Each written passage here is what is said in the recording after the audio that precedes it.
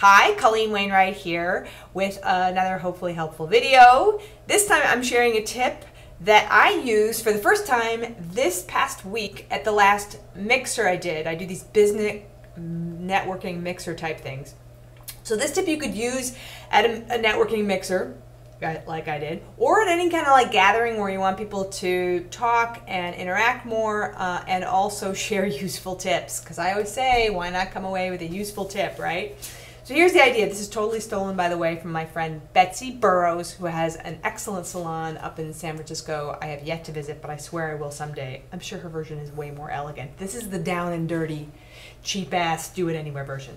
So you basically bring a bunch of pieces of paper and you either can write questions on them or ask people questions about what their favorite or what their thing is that they are having trouble with. What do they want help with? What do they want to crowdsource? Uh, for example, uh, the one I came up with, because I'm actually, I've got a big project I'm going to be launching this year uh, that I require a charity for.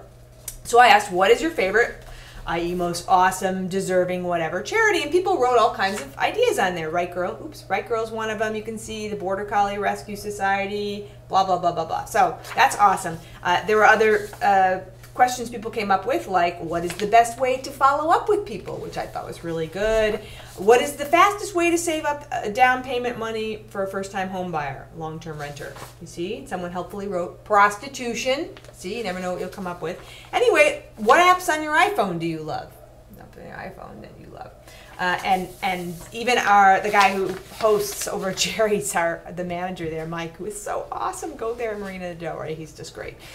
Uh, but he people were really excited about this uh, after they got over the initial "What the hell is Colleen doing?" thing, or probably with Betsy. No, no one probably asked Betsy what she's doing because they're like fine with it. But uh, it's really kind of interesting because you get a lot of ideas you wouldn't have gotten otherwise. Plus, people get to talking about the stuff that they put on there, and it's just like a good icebreaker. But you actually have information. So what I'm going to do with these sheets afterwards is write them up uh, and as like a helpful note, like here's what everyone said, here's what everyone did, and then share it. And I'll try and maybe write it up as a thing on Biznik. I'm a little busy this week, uh, pre- prepping for something big on Friday, but I will get it up there. And uh, in the meantime, I would say give this a whirl the next time you have some sort of big event you want to get people talking at because boy it was so helpful getting people just sort of talking writing doing whatever. And gives people something to do when they don't feel like talking and writing so that's good too. Anyway that's me colleen wainwright communicatrix.